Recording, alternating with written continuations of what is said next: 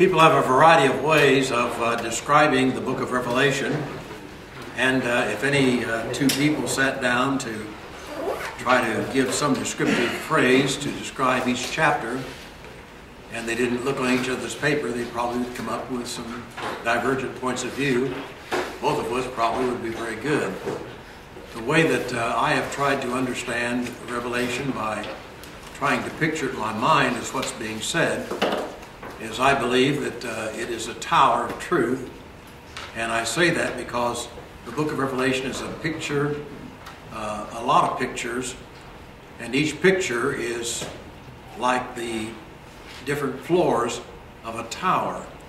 And so I envision chapter 1 as being the firm foundation because it's primarily a picture of the Lord Jesus Christ. You remember the Bible says, other foundation can no man lay than that which is laid, which is Jesus Christ. Now, upon that firm foundation, we then come to chapters 2 and 3 that belong together because they contain the seven letters that were written to seven different churches. And so the church is built upon this firm foundation. And in each one of these letters, we get a glimpse of how different congregations may be. What are their strengths? What are their weaknesses? What are their challenges? What should be their primary concerns? And all these are dealt with to make us understand today that though there are separate congregations of God's people meeting around the world, yet each congregation is going to have its own characteristic. And some will be very strong, some will be very weak. Some will be strong in one area and weak in another area. But the variety of churches that existed in Jesus' day and in every day since uh, will be uh, characterized by chapters 2 and 3. Now, I put chapters 4 and 5 together because it's very obvious. In chapters 4 and 5, we're brought to the throne room of heaven. And in chapter 4, we see God on his throne. And in chapter 5, we see Jesus Christ at the right hand of God. Now, when we come to chapter 6, which we concluded in our study last week, I call it a journey to judgment because the first four seals that are broken are pictures of uh, conquest, of war, of death, and of famine. And I think uh, that pretty well describes how history is playing itself out. There have always been people that wanted more than they had. There have always been wars to get what you want. The result of wars usually ends up in a lot of people dying and many people going without needed food. But it's at that point that I need to remind myself again, though that is true in our physical world, it's also true in our spiritual world. And we who are the soldiers of Christ are involved in conquering the world for Christ.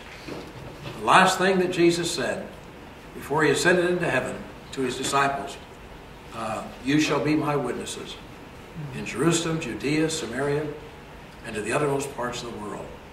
Now, days before that, up in Galilee, he had said to the crowds of people, remember, he made himself uh, known to above 500 people. Most people think that that crowd, that large, probably was his final meeting in Galilee. But that concludes the last two verses of chapters of uh, the book of Matthew. And he said, Go into all the world and uh, teach every nation and baptize them and continue to teach them. And I'll be with you always if you teach them to condemn observe everything I've commanded you. So, this is his heart's desire that the whole world should know why Jesus came to the earth and what he has done for us at Calvary and even uh, at his resurrection and now while he's at the right hand of God on high. And so, uh, in the sixth chapter, we saw that journey unfolding. Now, the last picture in that chapter was the sixth seal that was broken and it was not a pretty picture. So we had a week to dwell upon a picture that uh, obviously we need to see clearly, but not one that we want to be a part of. You remember the fifth seal, that was not a very pretty picture either, but it certainly was better than the one the sixth seal. The fifth seal showed us a picture of Christians who had been killed for their faith. Now our hearts break when we realize that people who are trying to do right, are paying the supreme price for doing so. And they're portrayed then as, uh, at the base of the altar of sacrifice, and they're asking the Lord a very significant question. Lord, how long are you going to let this continue to go on? And the Lord, in essence, is saying it's going to continue. Uh, don't you worry about that. I'm in control and I know what I'm doing, but uh, there are other people that are going to join you. And we know from the first century now that we're living in the 21st century that it's true that throughout every century people have died for their faith in God. That doesn't mean that God has forsaken his people. That doesn't mean that we've lost our basis for hope in Christ. Uh, our future is secure. He wants us to know that. But he also wants us along the way to realize that throughout history, Christians will have a lot of questions. They may not understand God's answer. Revelation is a book that you don't want to finish before you're finished. What I mean by that, don't stop reading till you've come to the end. So in the last, cha- uh, last chapter, last paragraph rather, of chapter 6, we have a picture of the non-Christian world. And it's an even worse picture. Because these are people with no hope. Now, it's not pleasant to see Christians dying for their faith, but it's good news to know that they're not dying in vain. But here are people that are not ready to meet God, and they know it's too late. And in that final hour, they're crying out for the rocks and the mountains and the caves, for anything that will hide them from the presence of God. They're not ready to face God. But they're going to face God, and they're going to face an eternity of separation from God. And so we have a glimpse of that which is going to happen someday for eternity in our final words of chapter 6. Now, in chapter 7, we are introduced to an interlude.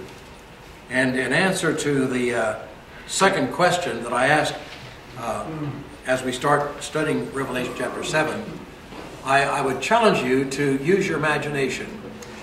And what I would ask you to do is to consider the fact that you are not seated around tables as you are tonight, but that you're seated in an auditorium. And you have been looking at the stage, and you just watched a drama unfold which has presented you with the various pictures that I've just reminded you of. A picture of Christ, a picture of the church, a picture of heaven, and a picture of the events of history. And now the curtains are closed. Now, why are they closing the curtains? We're using our imagination. In my imagination, I see that while the curtains are closed, they're going to change the scenery behind the curtains. But they want to keep our attention so that we are not distracted when the curtains once again open up. So while the curtains are closed, there are some actors that come out in front of the curtains. They're making their appearance and they're saying, uh, We want to make sure that you understand two things. The first thing we want you to understand is all of you who are alive now and you're serving the Lord, you're on the winning team. Your future is secure. I want you to know that. The second picture, beginning with verse 9 down to the end of the chapter, is going to be a picture of what about the people who've already died? That is, those who died as Christians, those who died as the people of God. Are they okay? And out there in front of the curtain, they're saying, Oh, yes, they are. And in essence, we could sum it up with the words of the Apostle Paul when he said, For to me to live is Christ, to die is gain. And those are the two pictures that we're going to see in the chapter that we're studying during this hour together. Let me begin reading then with verse 1. After this, this is Romans Revelation chapter 7. After this, I saw four angels standing at the four corners of the earth, holding back the four winds of the earth, so that no wind would blow on the earth, or on the sea, or on any tree. And I saw another angel ascending from the rising of the sun, having the seal of the living God. And he cried out with a loud voice to the four angels, to whom it was granted to harm the earth and the sea, saying, Do not harm the earth or the sea or the trees until we have sealed the bondservants of our God on their foreheads. Now, in the very opening words, after this, what is this? I think he's saying, after you've seen these first few scenes in this divine drama, before we go on to another scene, I want to picture something to you. So after this refers to after having broken the first six seals. Now, we're about to break the seventh seal. And when you break the seventh seal, that's going to give you another picture. So he's just simply changing the film and the camera and saying, all right, you've used this reel up, you've seen this, put a new reel in there, show you this, and you're going to watch this. So it suggests a change of scenery. It's not suggesting later on in time. Because what we're reading in Revelation is paralleled again and again throughout the entire history of the church. And we're living in this picture. We're living in the book of Revelation. And it's very important for us to see where we are in this picture.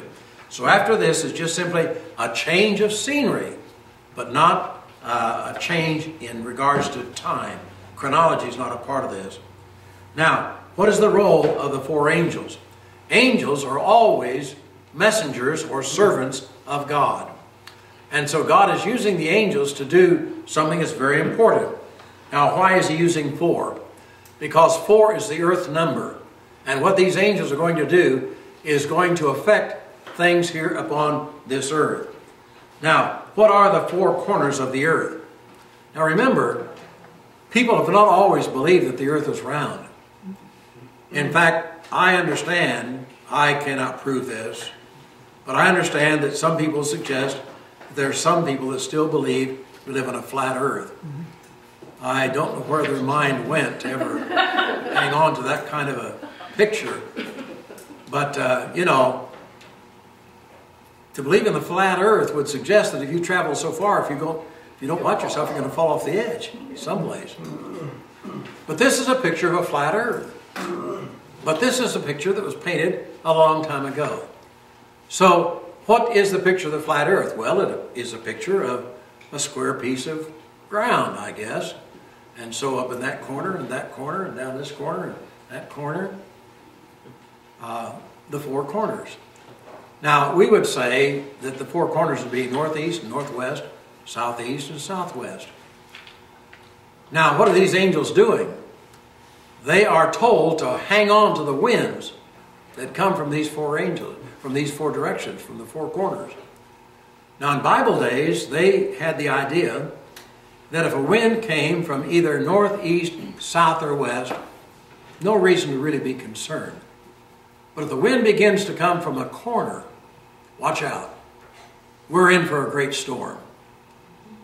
Now, that picture, I think, fits the book of Revelation. What are they holding here? These four winds. By the way, do you think that wind can do a lot of damage? How can you live in Florida and not believe that?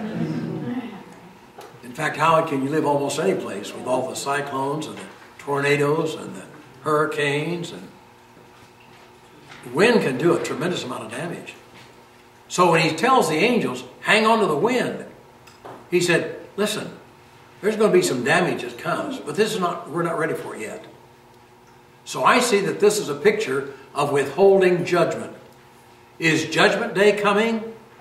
Is the day coming that people are going to suffer the consequences of their own evil deeds if they're not Christians? Oh, yes. But that time has not yet arrived. So he's saying, hold the winds at the four corners.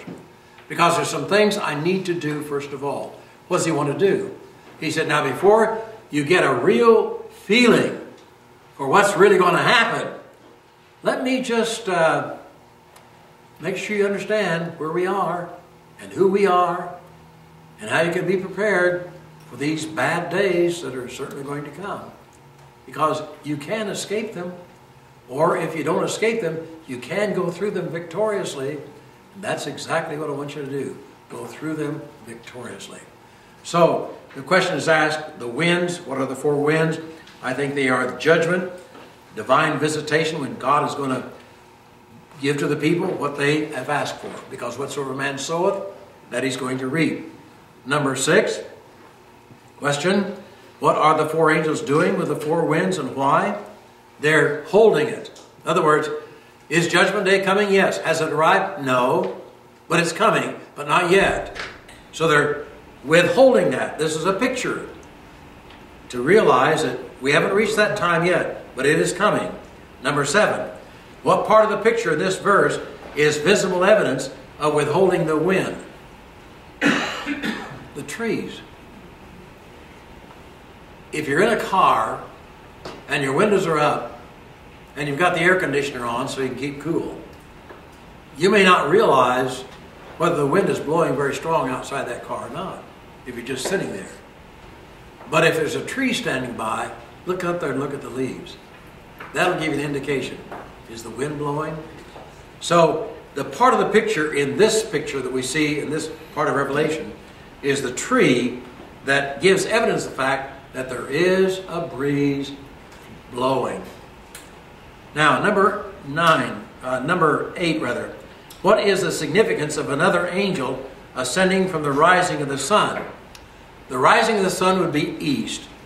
And when anything came from the east, as is portrayed in the Bible, this would mean that this is coming from the very presence of God. You may remember that uh, the tabernacle, when it's set up, the door into the tabernacle always faced the east.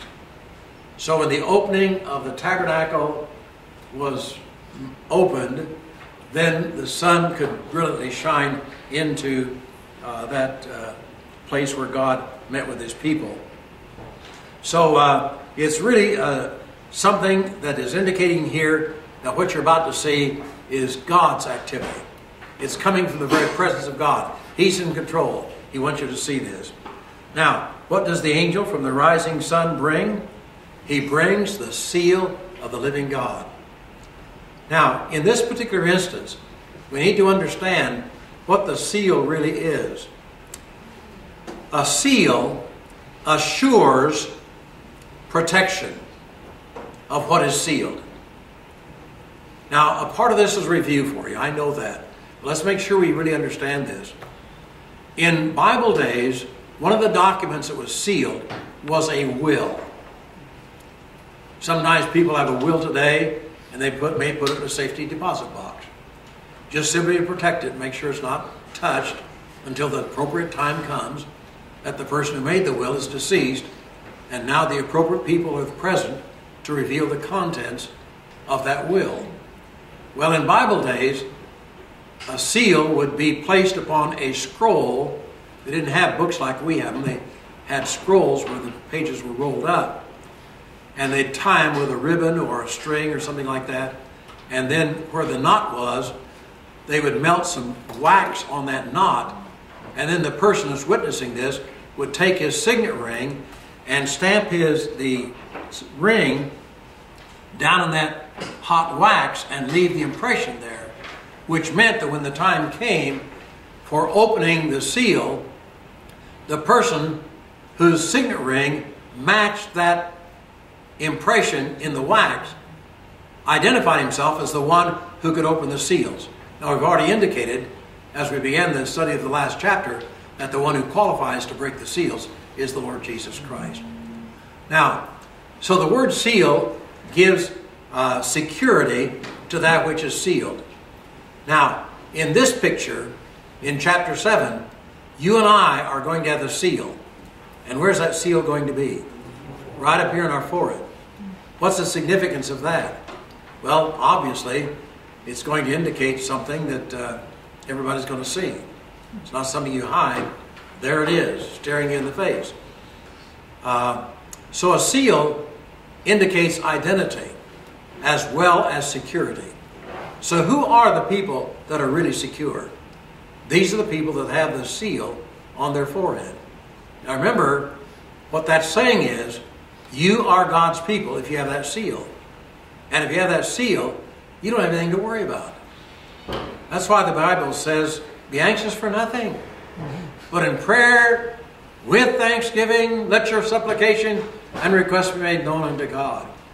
We have security, we have God's promise, we have His presence, and we are clearly identified as His people. So the uh, seal is uh, making that very obvious to us. Uh, I need to get back here to some of the questions I haven't used yet, don't I? Number 10, what instructions were given to the four angels in verse 3? It said, Do not harm the earth or the sea or trees until we have sealed the bondservants of our God on their foreheads. So uh, he's saying, uh, make sure that we uh, pause here in the history of the world and just take a look at what's happened, what is happening, and what is yet going to happen. And that's what we do every time we sit down in a moment of quietness to read our Bible to find out from the Old Testament where God's people have been, where we are today, and where we're going to be someday. Number 11, what is the significance of the seal being placed on their forehead? I've already indicated that to you, but let me just remind you of a beautiful illustration from the ninth chapter of the book of Ezekiel. You remember that story?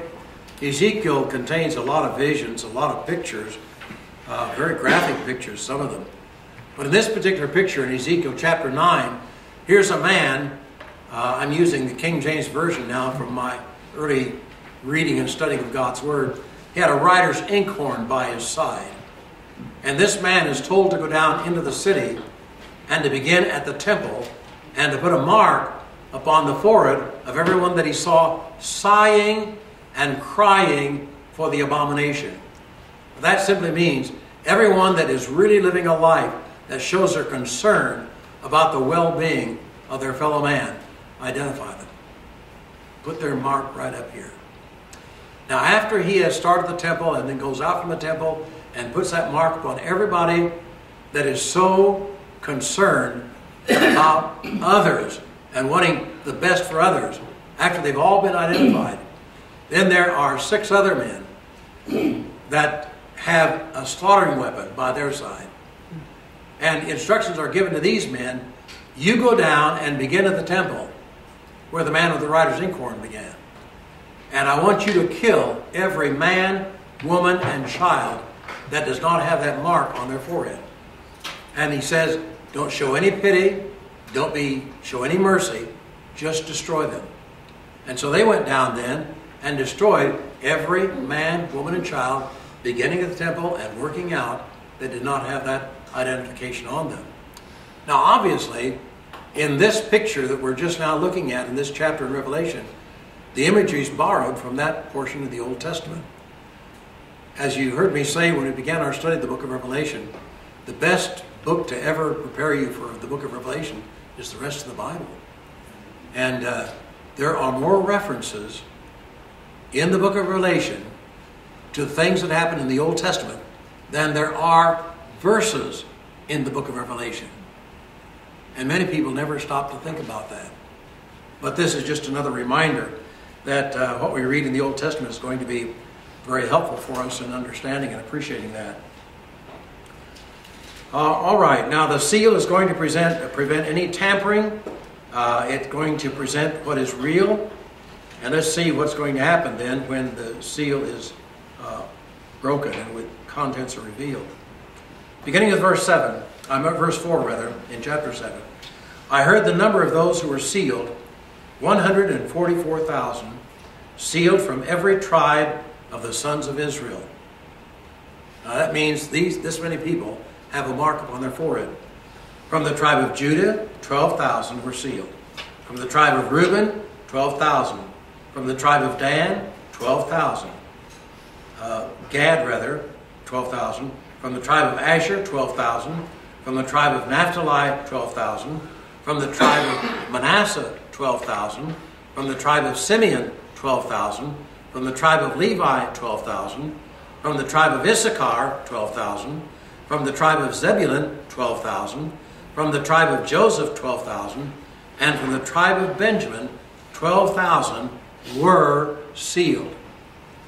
Now we have 12 12s, and that gives us 144 and 144,000. So how many were sealed? all of God's people. The number 12 is a signature of God's people. I think the dual 12 would be the 12 in the Old Testament, the 12 in the New Testament. Thinking of the patriarchs in the Old Testament that are here identified, and thinking of the apostles in the New Testament mm-hmm. through whom God has given His Word for the rest of us to read and study as we are here tonight.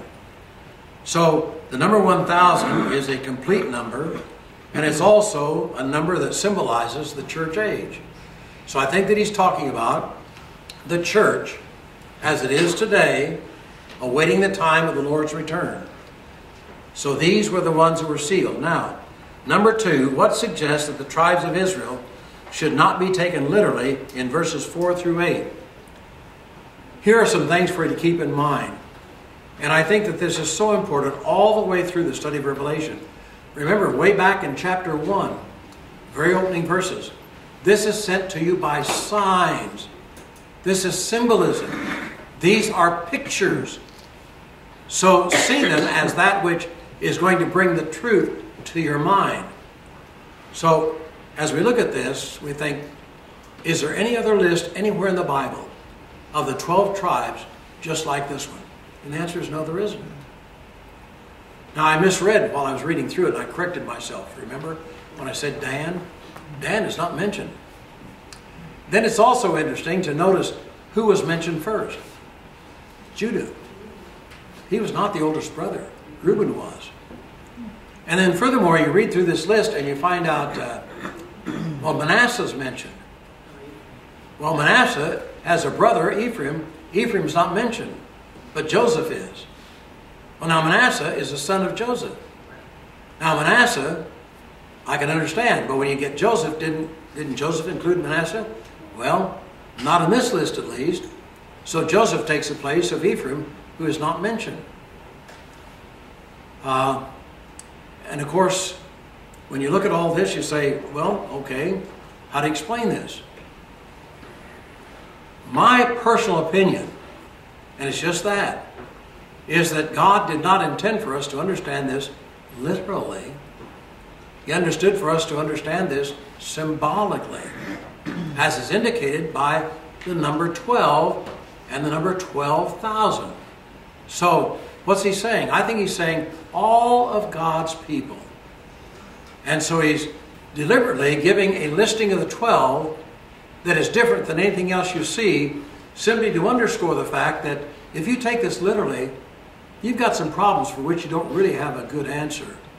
Now, when you say, well, who took the place of Dan? Well, you could say Levi took the place of Dan. Okay, but how are you going to explain the fact that Dan was not included at all? I don't try to explain that. I know that people have suggested reasons why they think he was left out, but uh, I just think that the, the order in which these names are mentioned and the names that are or are not included is just a way of reminding us don't understand this literally. Now, why am I saying this? Uh, I'm afraid that much of our misunderstanding in our religious world today is a result of seeing things literally that God did not understand, under, expect for us to understand literally. For an example, who is God's Israel today? The church. Does that mean that the church is God's Jew? Yes, it does today. Was that always true? No, it wasn't. Are we descendants of Abraham? The last few verses of the third chapter of Galatians said, Yes, we are. And he identifies who they are. Those who are baptized into Christ are the offspring of Abraham. Abraham is the father of the Jewish nation. Jewish nation was the people of God. Today, we are the people of God. In the second chapter of Romans, verses 28 and 29, in the ninth chapter of Romans, verses 6 through 9, both passages will, in essence, say, They are not all Israel who are Israel. It sounds like a contradiction. No, it isn't. In other words, he's saying, just because you physically may be categorized as a Jew, you are no longer categorized that way with God. God says, My people are not identified any longer by physical birth. Was there a time when they were? Yes, during the Old Testament time. But now we're identified as his people by birth, but it's not physical birth, it's spiritual birth, born of water and the Spirit. And so, in all these passages, we have uh, indications that God many times will use words that had a literal and a physical